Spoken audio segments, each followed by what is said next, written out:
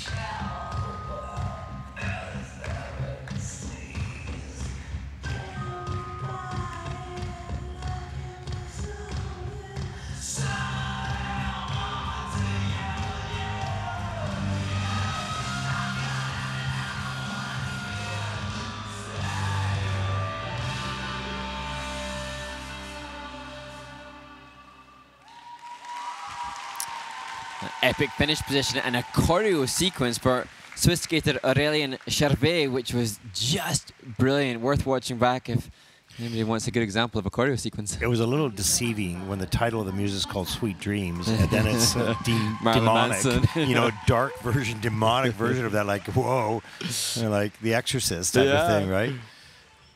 Yeah, that was a different rendition of Sweet Dreams that I've ever heard. Absolutely. And I know that his choreographer, Pierre Bouquet, he they've worked together for years and they come out with this idea. They wanted to experiment with something new, and he's saying that Aurelian will take anything and interpret it. And you see that. That's the cool thing about this young man. You know, he's going to have a whole menu of different genres and mm. approaches. Triple total. He was a little bit off center in a lot of the jumps. He had to struggle through things a, a, bit today, and he did. Comes here for the triple loop. This was nice, right on top mm. of the mm. landing. And a little bit later in the triple toe loop, back the free leg, double toe. That's good. You certainly want to move those out a little bit bigger from the perspective of more momentum going in and coming out. So covering more ice in the air and on the landings and the takeoffs. That's pretty cool right there. This was that. It was just brilliant. Yeah, sorry, cut it a little bit short there, Mark. All right. And this is skater that had that horrible accident back in May 2022. A fall on his bike, was fractured in his right knee, so couldn't do anything for three months, and now looks, you know, great technique, great choreo, just having to put it all together. But an exciting prospect, a skater that we can you know, I Mhm. now look forward to seeing, well, what's Aurelian going to do next year, having done that this year? No, I think he has a whole range. So you don't know whether he's going to go from the demonic uh, Sweet Dreams to Sleeping Beauty. You know, Yeah. you're just not sure. Like he's And he could. yeah, and that's the cool thing when you have skaters that. I wonder what they're going to do. Yeah. Because they can do a lot. Yeah. Right? Some skaters can't. They have to stay in their lane because Mm. they don't really have that growth yet or that personality. But great choreographers, the, the th- interesting thing, great choreographers study that skater for the first three days and then figure out who they are and bring it out. And, yeah. 98.78. That'll put him second with a 153.43 total score for the competition. That'll put him in second place overall for the moment. Sorry, go ahead. I was just going to say, it was the collaboration for Aurelian with the same choreographer. A lot of people use different choreographers year on year.